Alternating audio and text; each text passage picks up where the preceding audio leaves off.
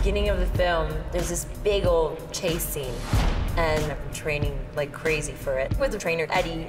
What we want to do is we want to figure out what is actually needed for their role in particular. Then we start breaking down the body parts that are important to build for that. And I do want to be able to do as much as I can. That was my promise when I signed on, was to do all the stunts. So what we're gonna have Adria do today is deadlift a heavy weight and go right into a power sprint move.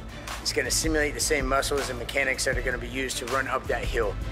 The idea is that we want to be able to increase our fitness and our ability and capability across the span of a workout versus just beat our head against a wall and be completely wore out and dead at the end of it. Oh my God, I can't breathe. Getting there. It's good. You got it? Let's do this. What we're gonna be doing today is we're gonna be simulating the chase. Work in the gym prepares you for your actual task that you're gonna be doing. Let's do it. She's got to continue to run, continue to outrun, and be able to continue on with the entire evolution of what's happening. Hi. Piece of cake? I wish. Not only do you have to run up the hill, you have to study the hill and know exactly where you're placing your foot because they need me for the next six days to run. He's a man. No, it's all her. I'm ready. I feel ready to go Yeah. up that hill. And I'm not worried anymore.